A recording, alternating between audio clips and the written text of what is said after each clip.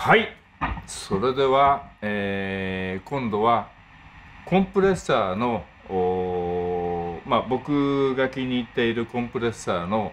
うん比較、えー、MXR のダイナコンプそれから僕が作っているコンプレッサーそしてロスのコンプレッサー。失礼、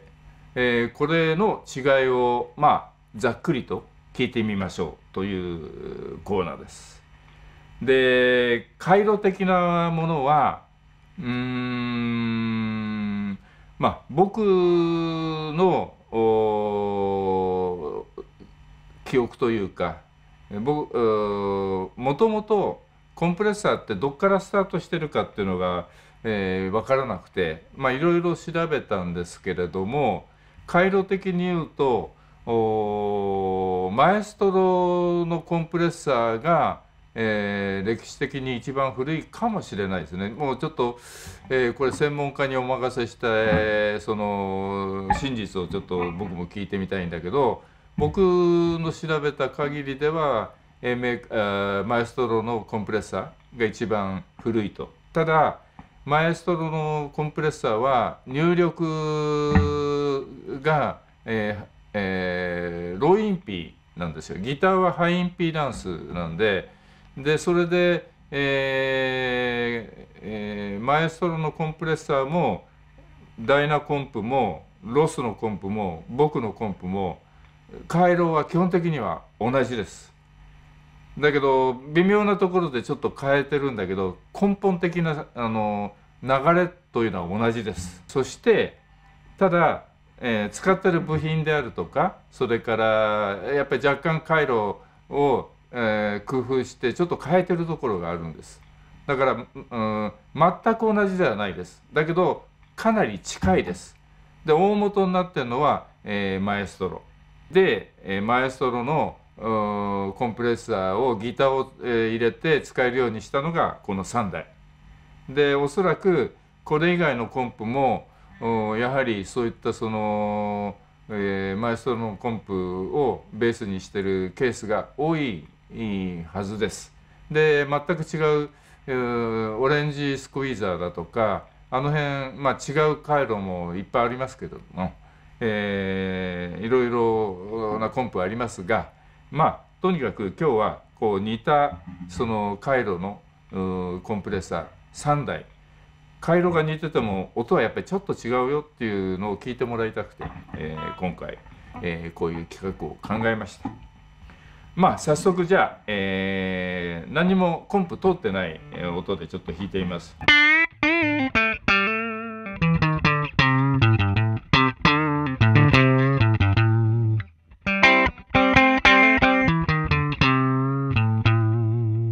ではダイナコンプ。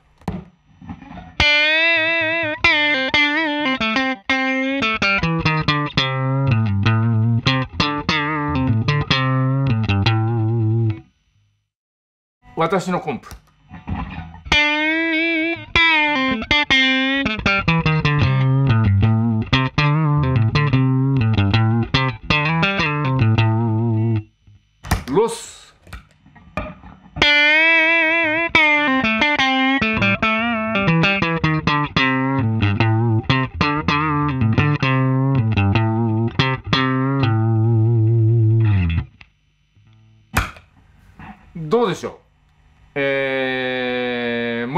しょう。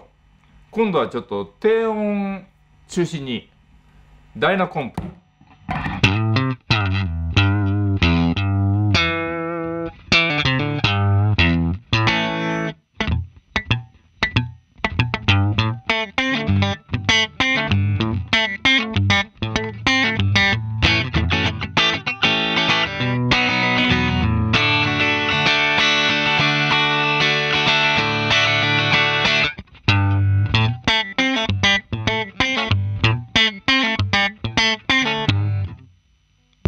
私のコン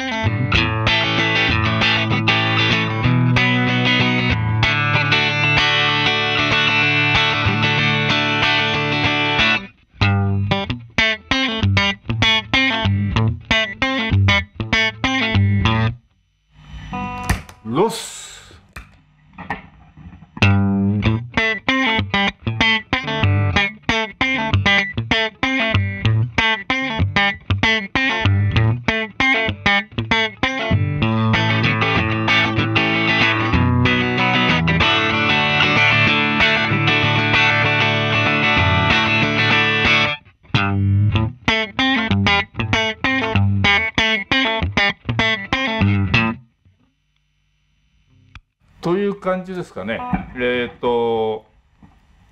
もう一回こう高めの今度音で今度はピックでちょっとね見てみましょう。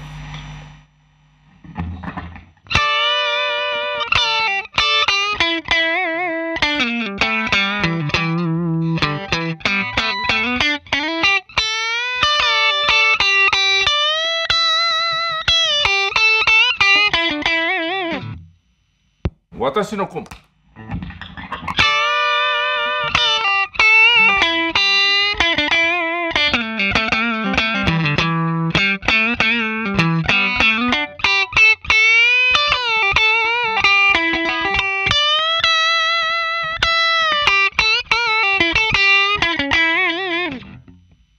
ロス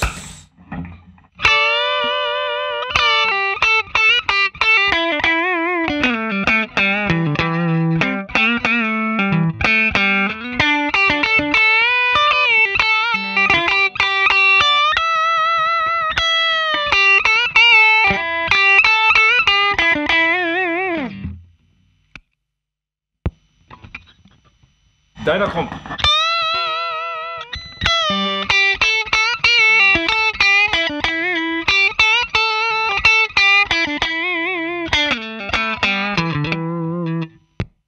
コン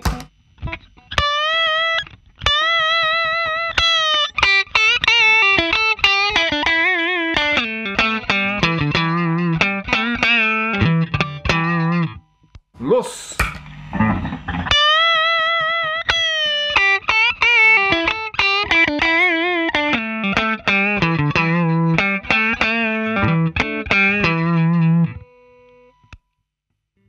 ということです。失礼。えーえー、僕の個人的な印象ですね。これをお伝えすると、粘りというか、音の、音の粘り、こういう。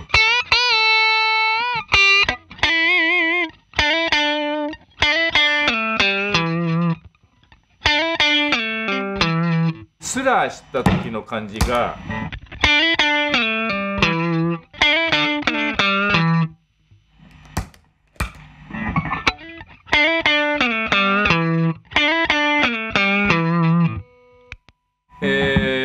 えー、スラーした時のおなんて言うんだろうこうもちもちもちもちっていうかなこの言葉で言いづらいんだけれどもこううんなんて表現してるんですかね。えー、もちもち。やっぱりもちもちになっちゃうんだけど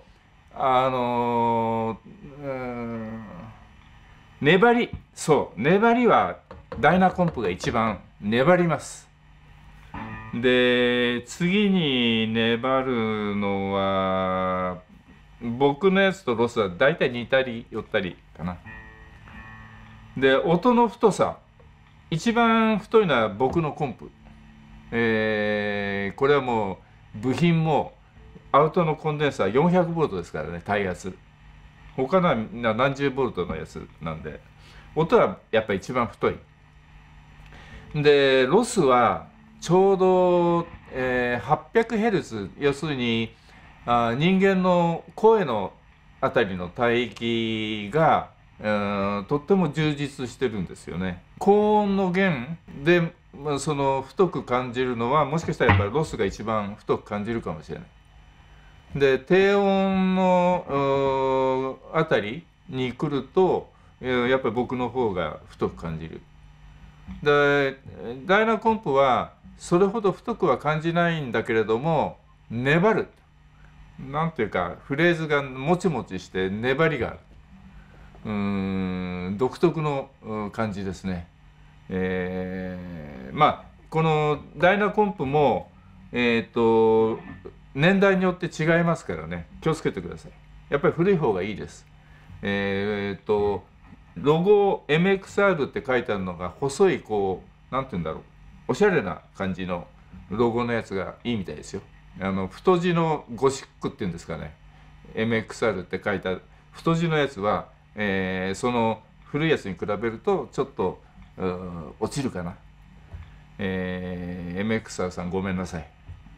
という僕の個人的な印象です。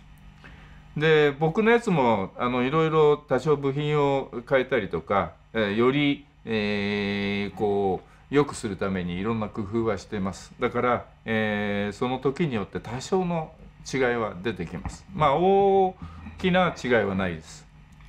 でこのロスのコンプこれ不思議で正直大した部品使ってないんだけどなんだか知らないけどいい音しますよね。えー、なかなかどれもそれぞれ特徴があって、えー、とってもいいと思います。えー、またちょっと機会がある時にもうちょっと深い形でちょっと、えー、品評品評会っていうのはちょっとね、えー、恐れ多いというかこの素晴らしい名機たちを前にして、えー、失礼な話なんでまあ、えー、ここのこういうところがいいよっていうその掘り下げた形でまたいずれ機会があったら、えー、お話ししたいと思います。えー、今日は以上です。また、えー、次の機会、えー、期待してください。それでは。